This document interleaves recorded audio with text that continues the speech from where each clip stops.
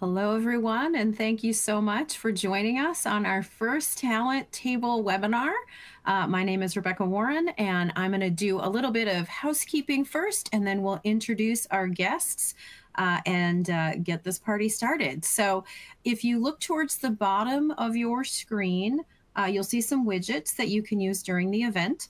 Uh, there's also further related reading in the resources section. Uh, you can ask us questions using the Q&A. Uh, we've got a lot to go through today, so hopefully we'll get to the questions, but if we don't, uh, we will follow up uh, with those after the, the webinar. Uh, with in-person Cultivate events coming up in London and San Francisco. Uh, Jason and I will be in San Fran, so we'd love it if you would come and see us. Uh, and then you can find out more by clicking the button to uh, the left of the console. So what I would love to do to get us started was uh, will be to uh, have our uh, panelists introduce themselves. Uh, Antony, can I start with you and have you do a little introduction? Of course, Rebecca. Yes, great to be on the, the session today. I'm Antony Shields. I'm a partner in EY based here in London.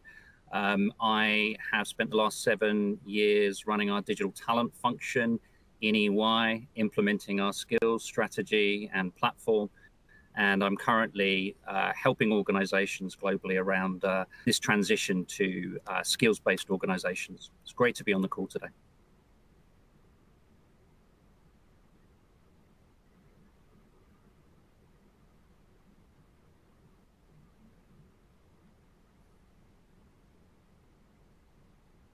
Right, Jason, can we send it on over to you for you to introduce yourself? Sure. Uh, so happy to be here, uh, and it's wonderful to join Antony um, on this on this panel. Um, my name is Jason Cerrato. I'm the Vice President of Market Strategy for Eightfold. Um, I've been with Eightfold now for a little over two and a half years. Um, I've been involved with Eightfold going back to 2018.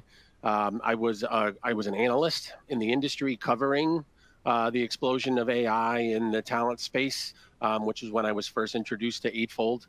Um, so I've been in this space for quite some time. Prior to that, I was a practitioner leading talent acquisition for a global Fortune 50. Um, also had a short stint uh, as an Eightfold customer.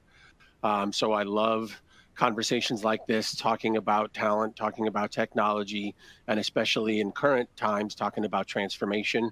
Um, had a chance to uh, participate in some of the previous conversations um, with Antony. Um, and hopefully Gael's able to join us. I know right now he's going through some technical difficulties, but I've also read up on some of the things that Gael's doing at Forvia. Um, so both of these individuals are leading transformation um, in their organizations. So um, really excited for the conversation today.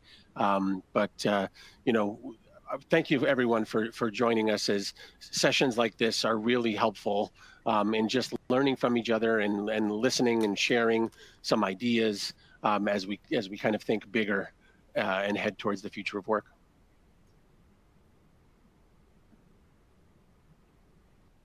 Absolutely.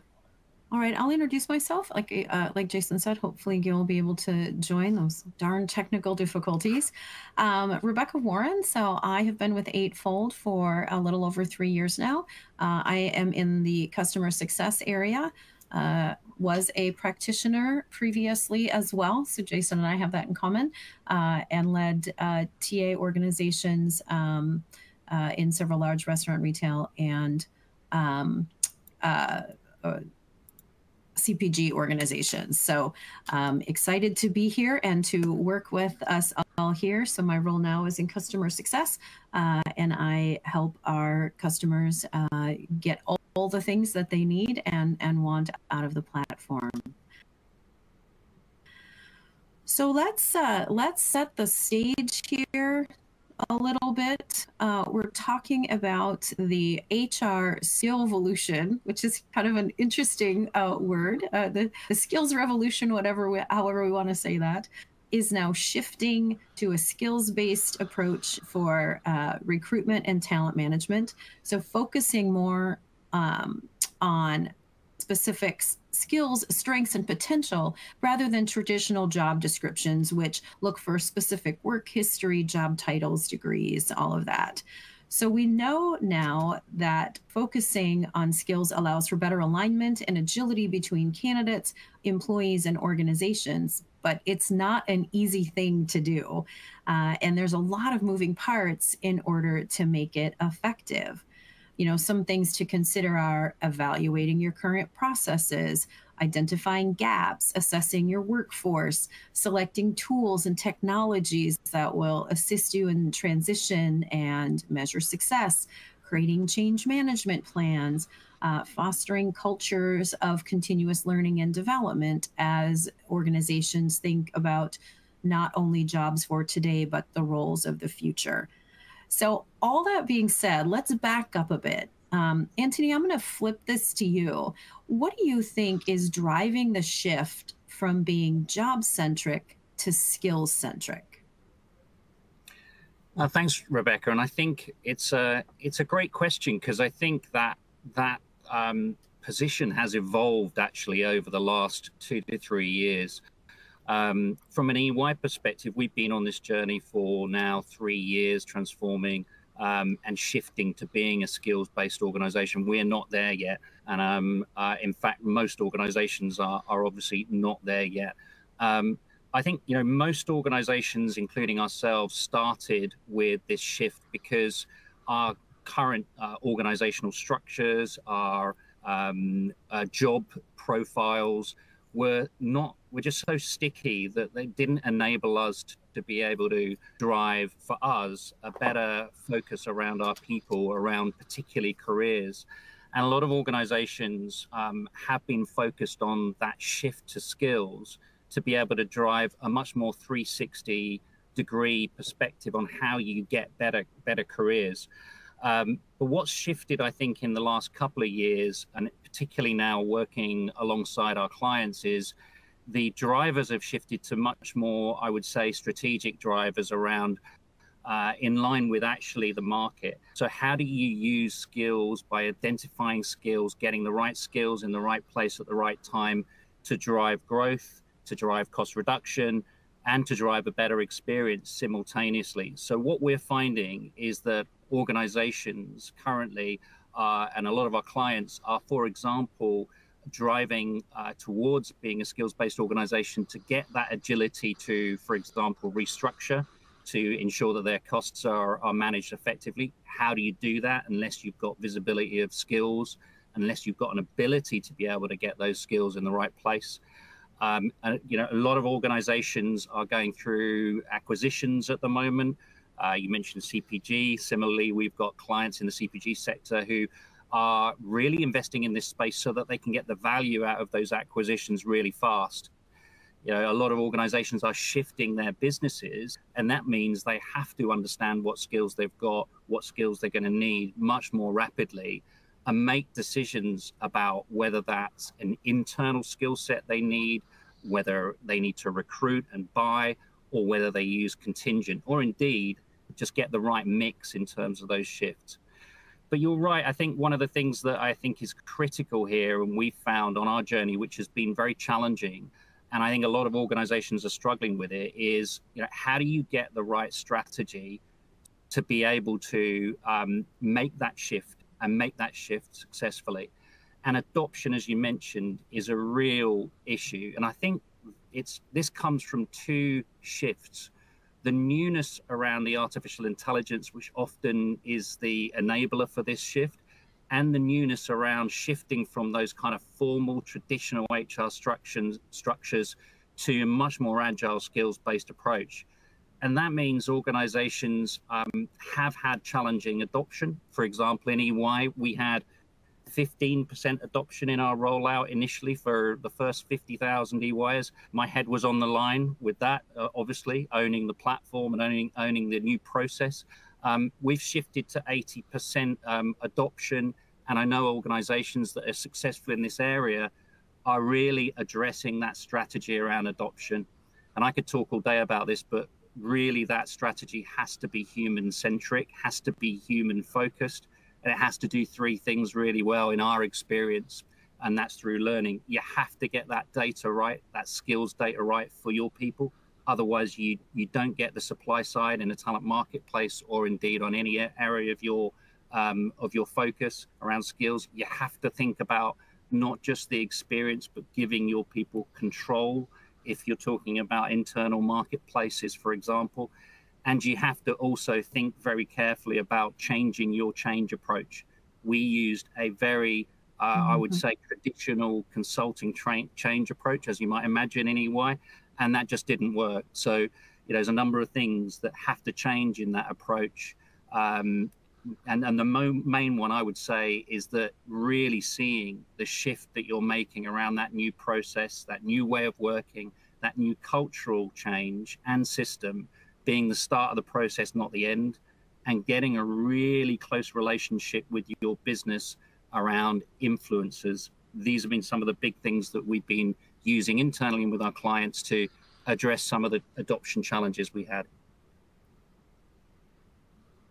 Yeah, uh, the adoption challenges are are um, I think, you know, consistent across all organizations. There's always a challenge to get folks to try something new, do something different. Um, I'm going to tack one more question onto that, and then Jason, I have a question for you um, around AI. Um, but Antony, where, if if you were to give your um, your perspective, is the right place to start to make this shift? Is it to do it with your employees and help drive that change? Or is it to um, start it on the front end when you're thinking about um, candidate attraction? Where do you think is the easiest place to start? Yeah, I think it's a really good question, Rebecca, because quite simply, organizations, including our own, don't have a really pragmatic strategy and roadmap around skills and therefore haven't looked at where the value is in the right way. And you know, each organization will be different in terms of how it prioritizes its roadmap, where it starts. For EY, we started absolutely in the talent marketplace area, and we're shifting onto recruitment, workforce planning, resourcing, mobility, etc. But for other organizations, they, they will find, and a lot of our clients find, that recruitment is the right place to, to start irrespective, you need to have a really pragmatic roadmap for so many reasons. Number one, you will find that you will get a disjointed experience with skill strategies everywhere across the HR function and indeed actually out in the business. And that was beginning to be our experience in EY before we um, effectively put in our next wave career strategy two, two and a bit years ago. Um, secondly, you have to concentrate on experience. It's not an either or or an it's an and. You, you can look at your cost reduction, productivity, agility needs at the same time as driving an experience. And particularly if you're starting out with um, talent marketplace, our experience is it's the only way that you actually get the value out of that platform because obviously unless you've got a really compelling experience and one where the employees are in control of that experience you then don't get that supply side actually right you don't get the data right etc because you haven't got that adoption um, at the beginning. So that would be my strong recommendation but it is an area where we are finding a lot of clients don't have a joined up strategy or roadmap in this area which is um, you know unsurprising in some ways. We were the same but is you know a necessary, I think, foundation for most organizations. Got it. Okay. Thank you for that. So, along with those changes, and you mentioned this um, when we talked about tech very briefly, um, is that a lot of these changes are being driven by technology, specifically by AI. So, Jason, how do you look at the role of AI in empowering this skills based change?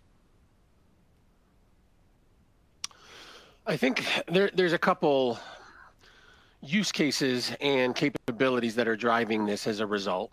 So, one is the ability to dynamically look at unstructured data quickly in real time. um, and the the computing power of AI capability um, in driving this understanding of what's happening in your organization, gathering data from a variety of disparate sources, is what's helping organizations kind of get their arms around making sense of what's happening, not only in their organization, but potentially in their industry, in their talent network, um, amongst their employees, applicants, candidates, um, a variety of different audiences. Um, and when I was an analyst, I worked with a colleague of mine. Her name was Helen Poitevin, and she phrased this as learning to use AI to embrace the chaos and using the technology to help make sense of what's happening around you in real time to some degree of confidence. And as you start to look at what the AI is surfacing and generating some degree of understanding, it starts to turn it turn into this concept of talent intelligence. And as you get more comfortable with it, you can start to use it to formulate an understanding of uh, the capability of predicting what's going to happen tomorrow. These emerging skills, these adjacencies, these capabilities for what is happening with how work is getting done versus how work was done yesterday. So I think that's a key element of the role of AI in empowering this kind of skills based change. I think the other thing is when we've talked about kind of how this had been done in the past, a lot of it was done on job descriptions and work history. If you think about it, um, that was always lagging data and with the pace of change and especially disruption with the way people are getting their job done and the tools they're using to get their job done that lag is getting broader and wider right so if you're using ai to actually examine how they're getting their work done today and part of it is they're they're getting their work done by using ai as a tool you're starting to understand how the work is getting done which is increasingly different from how we've um, historically captured how it was done in the past. So this is what's helping also empower this skills-based change, and we're using this to understand talent through a deeper lens. So moving beyond just job descriptions to understanding the work and the tasks that are at hand. And when you understand the work and the tasks, you can start to get at the skills. And when you understand the skills, you can start to look at adjacencies and capability, and that also opens up opportunity for DE and I to open up the um, the audience for consideration um, and inclusion. Um, it also creates the opportunity to look at people's experience with work. So it's not just what is their experience at work or what tools do they have to get their job done. It's what skills are they able to develop in your organization? And how well do you know what skills they have to offer to your organization? And how well are you aligning the skills you need to move forward with your business strategy with the skills that person's looking to develop in their career and all of this is coming together at a very unique time in the world which is what is driving business transformation and talent transformation and hr transformation kind of all at the same time. So i think this is why uh, folks like myself and, and, Antony find ourselves on on these uh, webinars and on these conversations so much um, because this truly is, you know, uh, a, a skill evolution or a revolution, or as Rebecca referred to it, um, and we are designing work for the future. Um, Antony, it looks like um, we lost Rebecca, and I know I know Gael has been very very uh, valiantly trying to join in from a technical perspective and, and hasn't been able to. I think part of this is, you know, you talked about adoption and I, mm-hmm. I talked a little bit about how, how this is driving change and being done differently. Mm-hmm. A, a, key part of this is it's not just technology and it's not just process. A big part of this is also cultural change, right? Mm-hmm. How you how you lead differently, how you manage differently, how you communicate differently.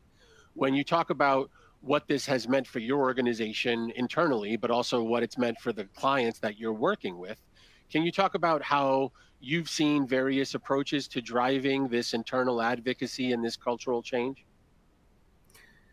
Yeah, look, I think I think it's um, and we are doing a good job, aren't we, Jason, in uh, in making this a, a two-way conversation. So uh, it's uh, it, it's fortunate we've had lots of fun talking about this in the past. So I think I think the first thing in terms of advocacy is what we're seeing and what we saw on our own journey and what we're seeing with clients is that you know you really need to start with a very strong business case mm-hmm. around how you're going to change, um, and that needs to be smart but differentiated because you know CHROs, including our own Trent, is under a lot of pressure to be able to drive change quite quickly. So that advocacy, I think, starts at the kind of macro level, right at the top. Um, you know, CEO is putting a lot of pressure on to be able to drive AI. So, um, you know, it, it, the cultural change around that is quite significant. From a COO perspective, there's a real a lot of pressure around cost and productivity.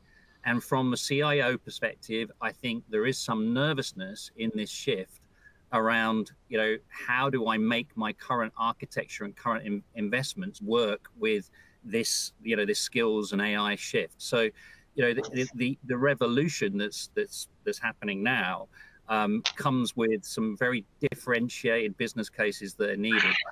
And then in terms of how it, this is actually landing, from an EY perspective, I think you know we we've been um, very much focused on trying to uh, do three things right from what I mentioned earlier being human centric. First of all, it's not just about creating a great experience, although that's critical. It's actually about how you infuse that experience into the places that the people, you know, use use skills. So for for us, this is about how do we not only provide a really engaging kind of new process and, and new um, career structure, you know, powered by the AI. And there is some amazing magic in the AI, being able to have those profiles, you know, automated and constantly updated. And now we've got good adoption levels. There is some magic there. But that's not enough. In order to really drive a different experience and in a sustainable experience, we've found we've had to really uh, have a multi channel approach. So we're now looking at how we, for example, bring that uh, employee experience into you know our teams platform so how we use that within um, our uh, you know at point of work as this is where our people actually want to experience um, you know careers want to experience their growth and learning journeys and so we're looking at how we can drive that um, for our people and you know that goes with the, the fact that about 70% of people in EY um, uh, they want chat to be the primary channel. So this combination of Gen AI um, and uh, skill, a skills-based approach really is driving, I think, a huge opportunity there. And then more broadly, I mentioned it earlier, uh, you know, ownership here and giving control to our people, at least from a talent marketplace perspective, is really key. Because what we found is in order to, uh, you know, actually have that experience sustained, and to drive that good levels of adoption, we needed to be able to give control over those profiles to our people. So, you know, being able to actually see where the data is actually coming from so that you can choose effectively how you want to show up in the EY world. This is something that's been really critical for us and for our clients. So, there's some subtle shifts, I guess, Jason, in terms of how we've used that strategy uh, at EY. And I see that Gael's joined us. So, Welcome, Gael. Yeah.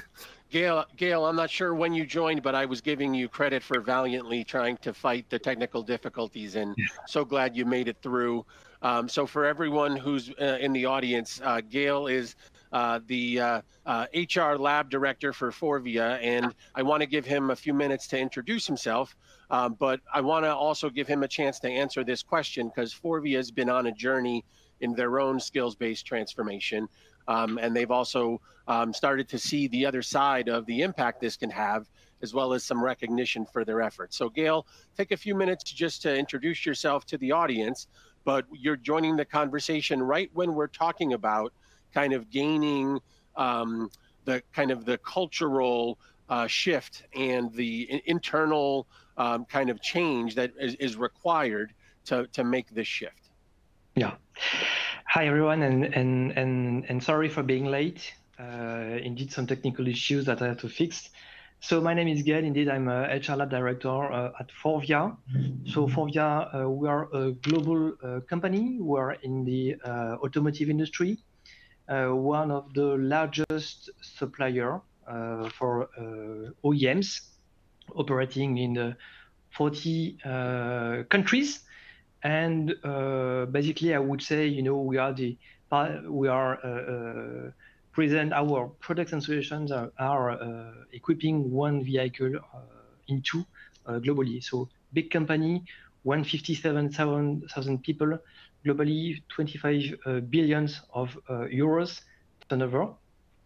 And um, we've decided to enter these uh, AI challenges two, three years ago, you know, back when our CEOs requested, you know, us to think about how AI would change, you know, the way we approach, we, the way we develop, the way we attract, the way we uh, uh, uh, help our uh, people, you know, move uh, in the company. And indeed, you know, in that period, we we did lots of research. We met lots of consultants, startups, and so on.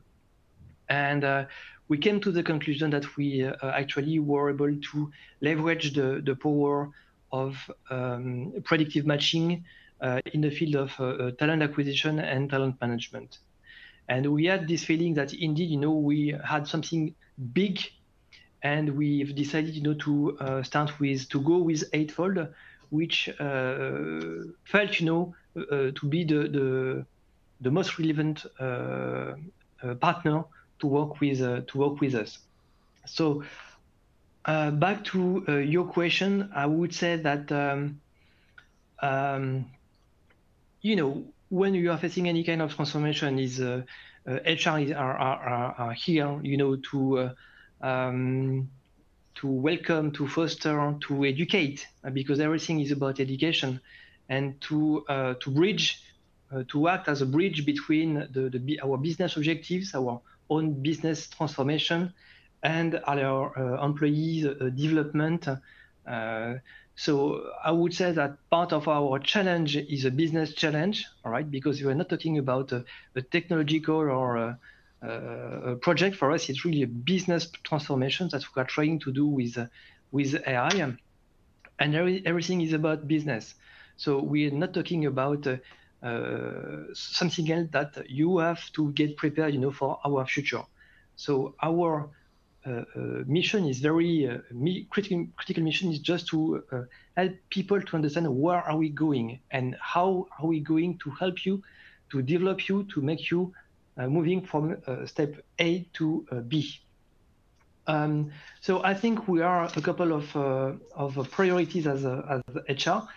Um, in our case, part of it is about education and cultural transformations. Uh, we have acquired a big company a couple of years uh, ago. And uh, when you try, you know, to build one single company, it's very, very, very important to educate people and explain how um, we'll be able, thanks to AI, thanks to a more, more skills-based organization, we'll be able to integrate people to uh, share common culture and uh, to uh, help people, you know, understanding what's going to be their future, uh, because they'll be able, you know, to project themselves uh, in in in in yeah with more with more clarity. Um, second priority, I think for us, it's about people engagement. Um, you know, part of our uh, journey is about how you engage people, you know, to keep with us in the in the future.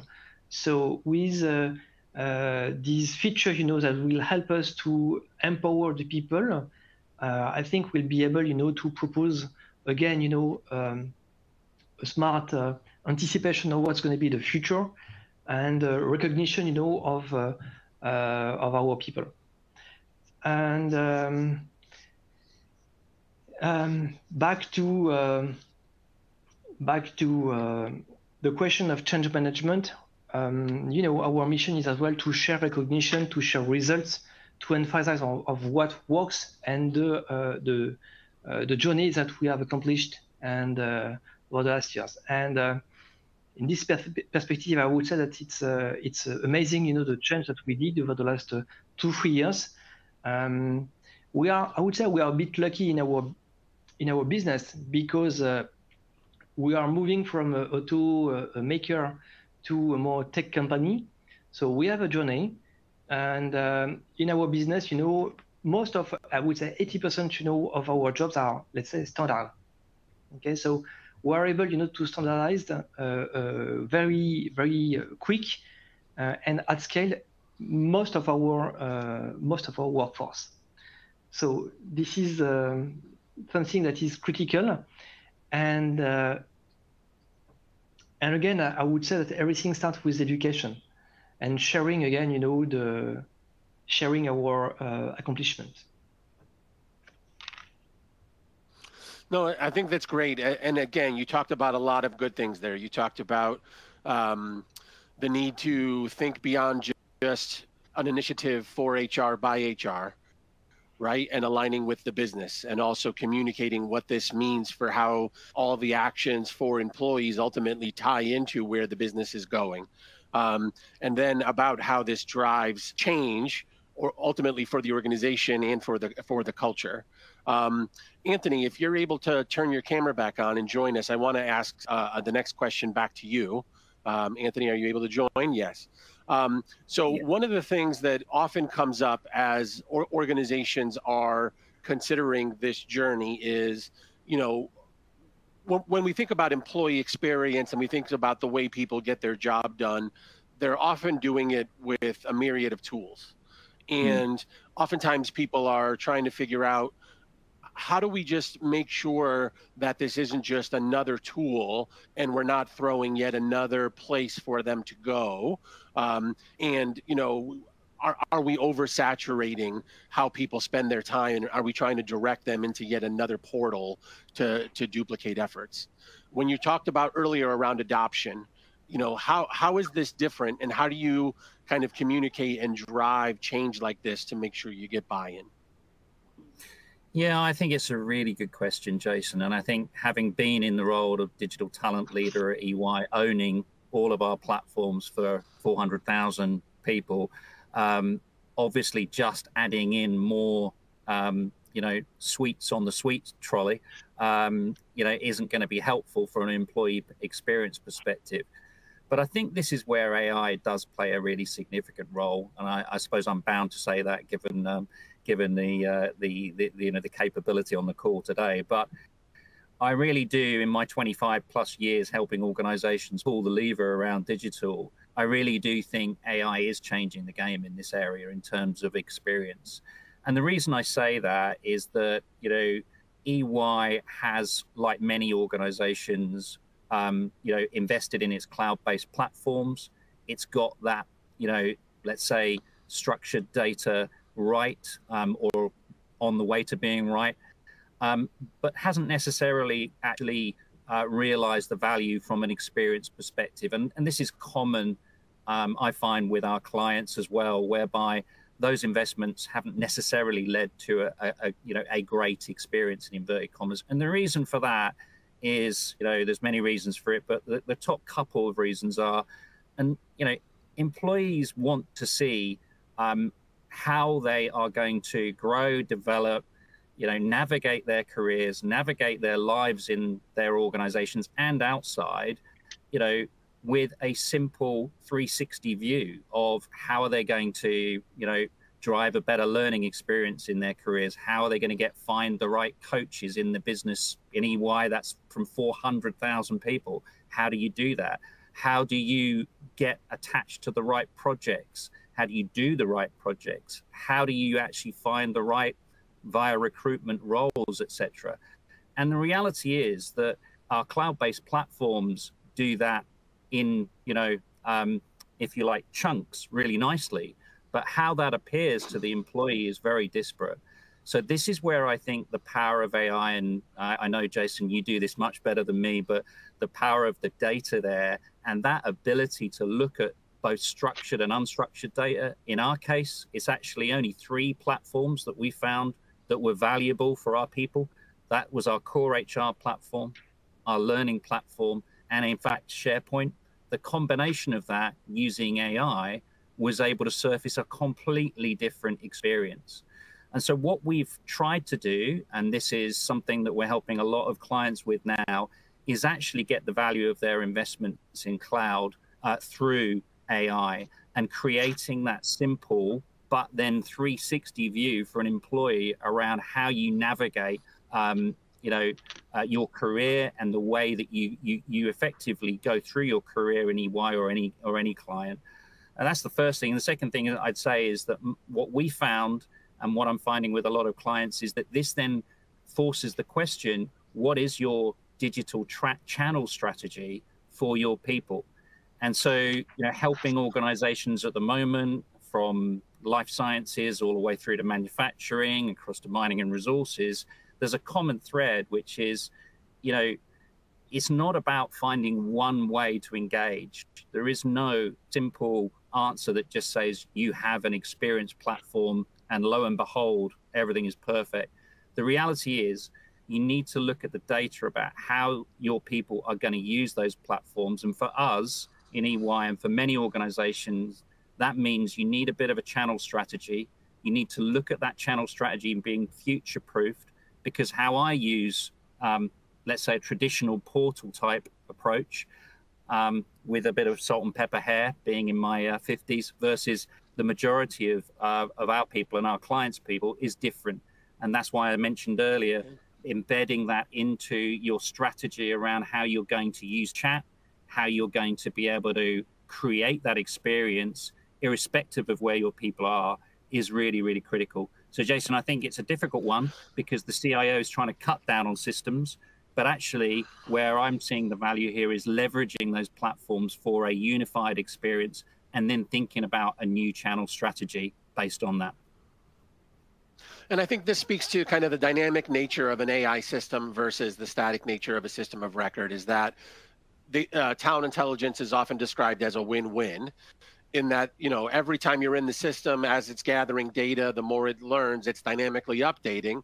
So there's always something new to see there's always something new to learn and that also helps drive adoption right? It's not just that if you're in the system today there's something new to learn tomorrow. It's that if you're in the system this morning there's something new you know in, in 10 minutes in in a half an hour this afternoon from other users and this continually drives people going back in the system because there's something in it for them as it continually learns. And the more it helps inform employees, it's also informing the organization, and the two sides come together in a dynamic marketplace. Hey, Gael, I want to throw it over to you to say, how do you then take this information and communicate this kind of adoption and success as you're rolling this out to leadership? Yeah basically, I would say that you know, in our business, in our industry, we are very pragmatic guys. All right, so we do not oversell. We do not sell about concept. We talk about you know concrete, super concrete and pragmatic examples. So what we did first, you know, is to to um, uh, share you know our first uh, year result with our uh, executive committee. Super pragmatic. Again, we have a strong KPI that we shared. The volume of traffic on our career site, that are uh, multiplied by more than four. The application hub, uh, as you as you said, indeed, the lesson learned because indeed, you know, we are still in, in the learning curve, and every day we are learning new things, new channel. The way, indeed, as well, it moved a bit our sourcing strategy, the productivity gain that we did. So everything that is very pragmatic and the KPIs of regular, you know, I would say recruitment and the talent management activities, the savings and so on this was, you know, for the executive committee, and we shared as well uh, the kind of uh, HR awards that we have uh, uh won over the last uh, the last months. Is then, of course, we had to communicate our uh, results and to engage, you know, the entire HR community, and we did it through global HR um, live presentation, you know, to share country by country, you know, everything that's, that's, that's has been done, you know, the benchmark against competition as well to demonstrate, you know, that indeed in our industry we are far, far, far uh, uh, away uh, in advance, you know, compared to competition. Um, again, in our countries, we have uh, selected, uh, we have identified, you know, some champion. So we gamified a bit, you know, the deployment, and we have awarded, we have delivered, you know, recognitions to, you know, make them proud of belonging to this uh, big transformation because indeed it's a deep transformation that we want to infuse within the within the company. And um, and so two other things. Next uh, is all employees because we want to engage all employees in this transformation. So we did lots of com communications through social media networks through linkedin through our own uh, intranet we have, you know, empowered people, you know, from the business as well, you know, to demonstrate, you know, thanks to the system, how uh, what they what they gain actually in terms of uh, new opportunities in the company uh, to grow, develop themselves. And and looking ahead, because we are still in the learning curve, and we know that we have to again to gain into maturity. Um, we are part of the global transformation team uh, who think about what's going to be the future of our industry and our company, thanks to uh, uh, generative AI, you know, and the impact of Gen AI on the on the HR function.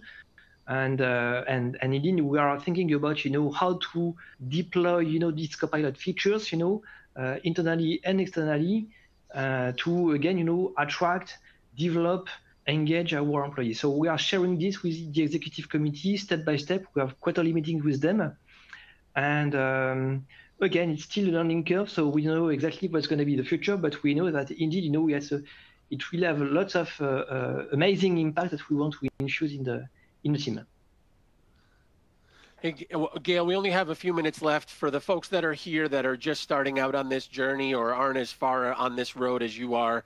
If you were to share just one piece of advice as a takeaway, what would it be? Um, I would say the very what we did again, you know, we, we, decided to go step by step, but we decided as well, you know, to uh, think big what I mean by think big, it's think big from day one. So when we've decided to deploy uh, talent acquisition, for instance, we've decided, you know, to go uh, as big bang. All right. So we decided not to do pilot and so on. We wanted, you know, to start very fast because we had lots of business uh, issues and we wanted, you know, to attract people. So think big, but you know, in parallel, in the same time, be pragmatic. Right. There's no there's no uh, common recipe you know. I think it's you, you have to start. You, you will probably do lots of mistakes as we did. We've decided you know we did lots of benchmark and so on and actually you know what we've discovered is that we we had good people that need as well you know to be uh, engaged. Uh, so what i want to tell you as well is engage engage and engage. Move step by step be pragmatic and engage your people uh, actually, I would say, you know, it's it's it's an amazing journey. And even, you know, if people are a bit afraid, I think this is a journey for for them as well in order to gain in terms of employability and uh, uh, to being able, you know, to draw their their own job. So, think big, be pragmatic, engage, and clean your data. Antony, across all of your engagements, any any uh, words of advice to summarize in a nice, short and sweet statement? Well, I actually couldn't have organized it better in as much as Gael. I totally agree. My big one was uh, think big but go deep. And I think, in line with what Gael said, there is it's it's so exciting the opportunity here for us um, in in our roles to really change the way that we do business. But I would say think big, go go deep, and that means make sure you've got a plan, make sure you've got a roadmap, and recognize that this, you know, your first steps will be the start, not the end of the process. I love it. I couldn't agree more. Um, when I was an analyst and I was advising organizations going through this change, I would always say you can break it up into chunks, but you should always build with the end in mind, right? So you should always have a plan of where you're trying to go you don't have to try to do it all at once, but as you're taking that step, you should have an idea of where you're trying to end up, right? So I appreciate those words of advice. Hopefully, everyone found something helpful uh, from the conversation today. Uh, we apologize for the technical difficulties. Um, we appreciate Rebecca uh, for joining us and for starting us off. Um, she was able to listen in for the second half of the conversation, but unfortunately, she had to drop off. We appreciate Gael for figuring out and troubleshooting, for able to join us uh, for two thirds of the call and for being able to share those words of advice. Uh, the Forvia team has been on an incredible journey, as has the Ernst & Young team. So thank you so much. And for everyone who attended, um, we will follow up with the questions that were submitted through the chat. Um, and as mentioned at the top of the call, um, through the On24 platform, there's also information for our upcoming Cultivate events. Uh, we hope to see you there. Thank you so much.